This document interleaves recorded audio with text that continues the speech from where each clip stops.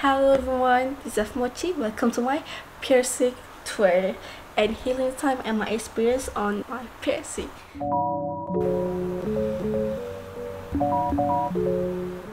Okay, hello.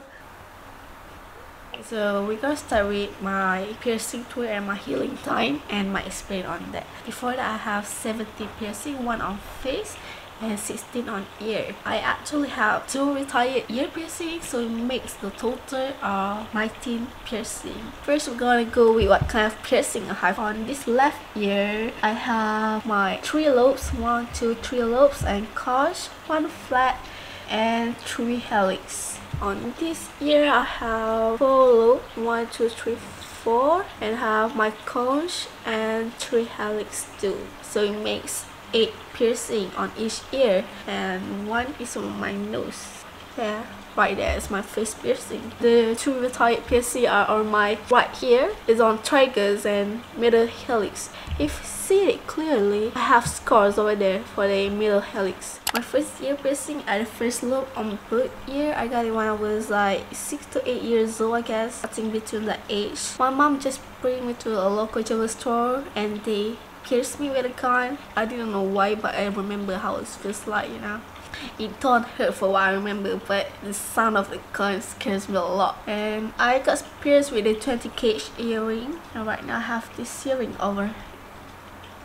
I will rate pain 2 out of 10 and heals pretty well because maybe a flat oh maybe my mom just took it from me very well and we have the second lobe ear piercing Okay, so I got one was 16, was last year 2021. Uh, I got it at local jewelry shop too. Uh, with the kind, same experience. because sound scares me a lot too. I got a pierce with 20 gauge earring and the pain level also 12 10 and healing times took me 4 months and have no complication with it. I swore to myself that I'm not gonna get any piercing anymore I started to find that ear piercing like constellation ear piercing are so pretty. I saw it on Pinterest. I was like, damn, it's pretty. So I was just like, I gotta get a third ear piercing. So I got it. But the thing is, and I learned that I shouldn't use piercing gun in the first place. I was like, wait, I've been doing wrong. So I was like, oh my gosh. And then I just search search you need to use a needle very sharp needle for the piercing itself. I did it myself. It's not a good idea but I did it myself. I still studied a lot very very a lot from the hygiene and the technique then I try to do it myself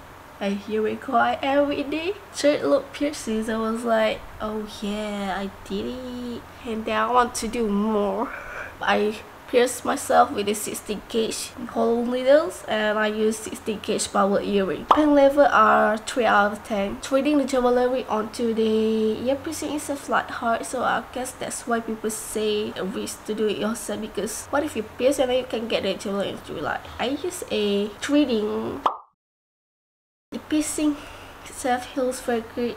Of the third lobe heals I did day 4 piercing lobe piercing. So I did it same experience. The pain is not that painful. Maybe I just like everyone have different pain levels. So I have like kind of high pain level. That's it. And then we move on to the cartilage piercing. I did it myself. So this is the first cartilage piercing or this right on the first helix. You can see right here that's my first cartilage piercing my first experience was like damn it's hard.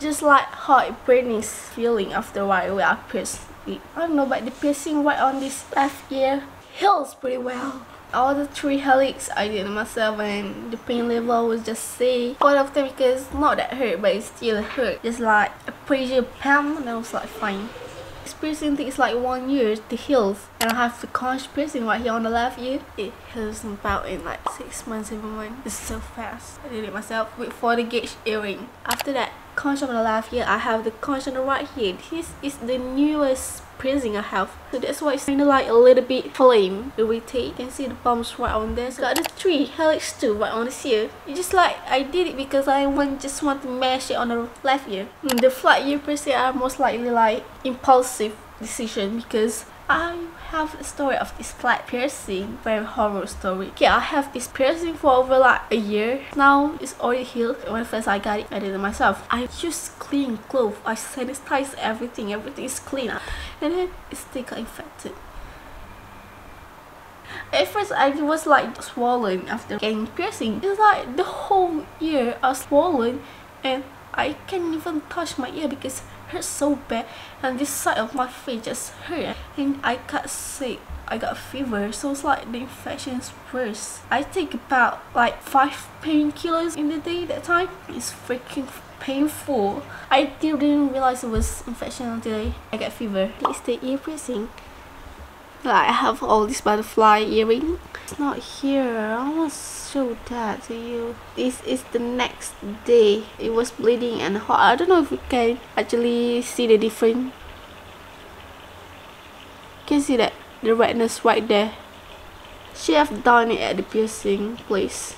I've never changed because it's just so hard and by the way I have all for my top piercing like helix and flat are labret type piercing jewelry and this side are labret type piercing jewelry and the conch too and this conch are pulver we're going to the face piercing so I have my nose piercing right here I have the 6mm ring. I did it myself too. I pierced it with this 18 gauge I guess at the time. So this is the 16 gauge ring. We are talking about the retired ear piercing. Okay, the retired ear piercing I did it myself first. So talking about the first helix piercing, I have the second cartilage piercing, which is middle helix. So middle helix like I didn't know why. Maybe because of my technique or wrong or my body just don't like that piercing. So I have take it off because one heal show no sign of healing. It's keep getting like irritated and pumps I grew tired so I take it off. And then before I get this conch piercing, I have the tragus piercing. But it just like seems like I pierce it too close to the edge and I tried wearing earphone. I love earphone. I love wearing earbuds and earphone. It seems like it don't fit me with my lifestyle and then I just take it off and but it don't scars maybe because like still fresh when I take it off. I take it off when it was like two or three days old but this one I take it off when it was like six or seven months old. It's a long time but in one hill so I was like sick of it. So that was my experience on my piercing, body piercing. Will I get more piercing in the future? Yes. Will I do it myself? I don't know. I don't know if I'm to do it myself because I promised myself back then I'm not to get ear piercing anymore of the second look. But look at this. I have 16 ear piercing on my ear so I can promise that but I might but I think I want to get it professional ear piercing what kind of piercing I'm gonna get soon? I would say I'm gonna get ear piercing if on the body piercing I don't think of anything yet. I think a nose piercing is just enough for me but you never know okay? I think I'm getting a fort lobe and maybe a rook. And I clean it with the saline solution every day. I bought it from a sea solution I don't what to say anymore but anyways I guess this is the end of the video so thank you for watching. Bye